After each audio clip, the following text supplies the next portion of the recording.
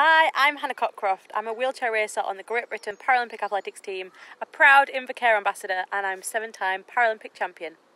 Disability Pride to me is a time to recognise the things our bodies can do and the things that we as disabled people have achieved against the odds. It's also a time though to draw attention and raise awareness to the barriers that still stand in front of us in everyday life and ask for allies to help us make change for the better.